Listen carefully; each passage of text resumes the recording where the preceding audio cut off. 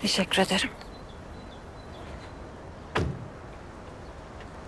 Peri Hanım, siz iyi misiniz? Arabada hiç konuşmadınız. İyiyim, iyiyim. Ama ben Nazlı'nın yanından buraya gelmek istemedim. Siz beni niye getirdiniz anlamadım. Neyse. Ee, yine de her şey için çok teşekkür ederim. Görüşürüz. Rica ederim. İyi günler. Aa, Bir şey mi oldu? E, yok bir şey. e, Zil çalışmıyor da. Neyse. Peri Hanım, elektrikler gitti o yüzden çalmıyor. Ben de sesinizi duydum da çıktım. Aa, niye yoksa? Yok yok öyle değil. Korkmayın şey ben mutfaktaydım. Mutfak robotuyla tam şey yapıyordum. Çat diye ses geldi. Öyle kaldım ben de. Sigorta atmıştır. Ben bir bakayım isterseniz. Aa, yok. Biz sizi yeterince yorduk. Teşekkür ederiz. Usta çağırırız. Olur mu canım? Ne zahmet. Rica ederim. Nerede sigorta? Göster bana. Şurada.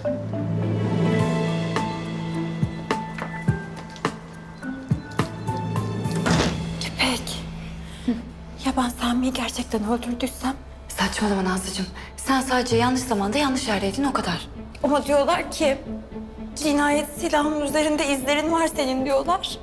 Nazlıcığım, er geç gerçekler ortaya çıkacak. Hem Şahin Başkomiserin bugüne kadar çözemediği cinayet davası yok. Eminim bunu da en kısa sürede çözecektir. Sen sadece sakin ol ve hatırlayamadığın detayları hatırlamaya çalışıp bizimle paylaş, tamam? Yok ya. Yok yani ben ben hiçbir şey hatırlamıyorum İpek. Ya ben eve girdiysem girdiğimde Sami oradaysa bana bir şey yapmaya kalktı belki. Ben de kendimi korumak için böyle pat diye öldürdüm onu. Saçmalama Nazlıcığım, sen kimseyi öldürmüş olamazsın. Şey ya ben e, öyle kulak misafiri oldum. Sizi bölmeyeyim. Öldüremem değil mi? Öldüremezsin Nazlıcığım, öldüremezsin merak etme. Ama sen bana hep diyorsun ki senin öfke kontrol bozukluğun var diyorsun. Belki gene öyle bir şey oldu böyle öfke anında ben bunu öldürdüm sonra hiçbir şey hatırlamadım ondan sonra İpek. Nazlıcığım, bak şimdi sadece sakin olmaya çalış tamam mı? Sakin ol ve detayları hatırla. Hatırlayamadığın her şeyi hatırlamaya çalış tamam mı? Tamam. Sigortalar atmış. Açınca gelmesi lazım. Oldu. Emin olalım. Elektrikler kesildiğinde ne çalıştırıyordun? Mutfak robotu. Bir bakalım ona. Buyurun. Gel.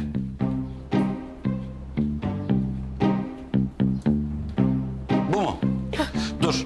Başka bir prizle deneyelim önce. Tamam.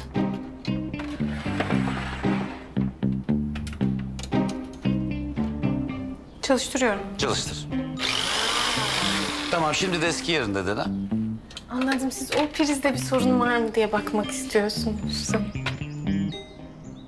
Mehmet Bey, e, işinizin gücünüzün arasında size zahmet verdik. Teşekkür ederiz. Olur mu canım? Bu da işimin bir parçası benim.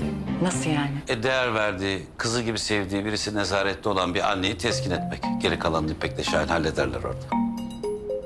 Betül'cüm, bize iki kahve yapar mısın? İşiniz bitince içeriz herhalde. Tabii olur. Neden olmasın? Deniyorum tekrar. Bas.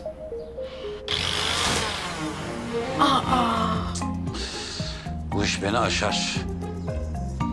Tamirci lazım bunun için.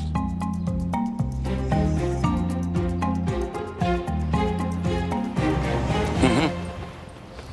Anladım. Anladım. Bir saate buradasın. Tamam. Tamam Samet Usta bak mahcup etme beni. Peki bekliyoruz tamam. Buyurun. Teşekkürler. Mehmet Bey, ben bugün yaptığınız her şey için size çok teşekkür ederim. Rica ederim ne demek görevimiz. Ama bütün bu başımıza gelenler sizin yüzünüzden. Onu da biliyorsunuz herhalde. Benim mi? Neden? E çünkü size İpek'i işten çıkarın demiştim. İyi de Peri Hanım bu durumla İpek'in durumunun ne alakası var? Eğer İpek sizle birlikte çalışıyor olmasaydı biz başka bir hayat yaşayacaktık. Nasıl içtiğinizi bilmediğim için orta yaptım ama. Orta. İyidir. Buyurun.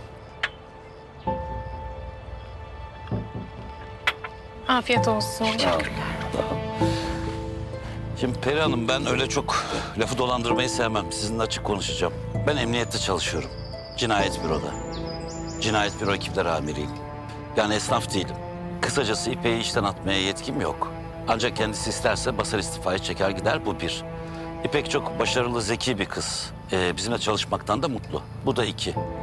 Üstelik Nazlı Hanım'ı kurtaracak olan birisi varsa o da kızınız İpek Hanım. Bu da üç. Bilmem anlatabildim mi?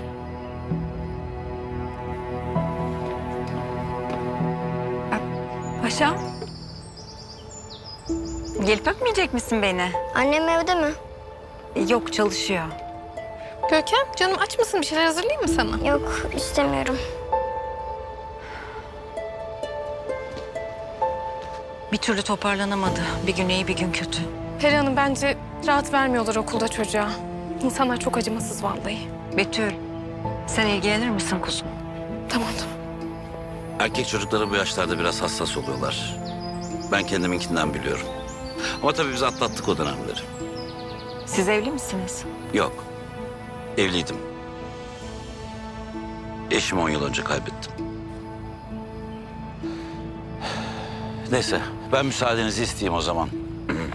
Mehmet Bey, Nazlı size emanet. Siz merak etmeyin. Sağ olun her şey için. YouTube kanalımıza abone olmayı unutmayın.